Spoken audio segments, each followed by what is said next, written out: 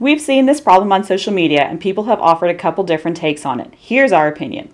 A guy walks in and steals a $100 bill without the owner knowing. He buys $70 in goods and uses the stolen $100 bill to pay.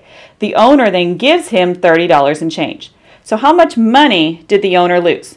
Well, here we put it out. Took the problem and put it in words. We lost $100 from the bill that he stole, $70 in goods that he then bought, but the $100 bill went back to the owner, who then lost another $30 in change.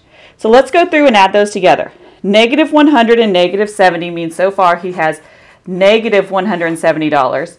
But to that, we're going to add the $100 he paid with, but then we're going to add the negative $30 in change. So negative 170 that he's lost, but then he gets his $100 bill back.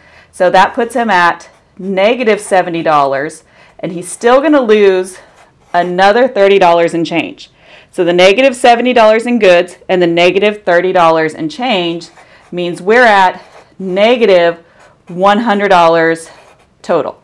Now that matches up with choice C, but we see a key word here in the problem that's influenced our answer. It specifically says how much money did the owner lose.